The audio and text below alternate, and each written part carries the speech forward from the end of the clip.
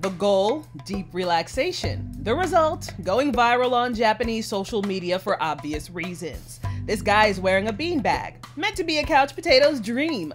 Developers say although all of us around the globe have spent most of our time at home thanks to this pandemic, that wasn't what sparked the idea. In fact, it was just an office prototype that got really popular among developers at manufacturer Takikou Sewing. One of the wearable beanbag creators told Reuters the concept came from the idea of a cushion that would allow you to totally let go anytime, anywhere.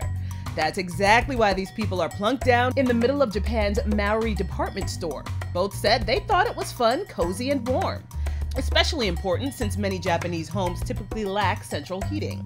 Body beanbag goes for about 120 bucks. For Inside Edition Digital, I'm Stephanie Officer.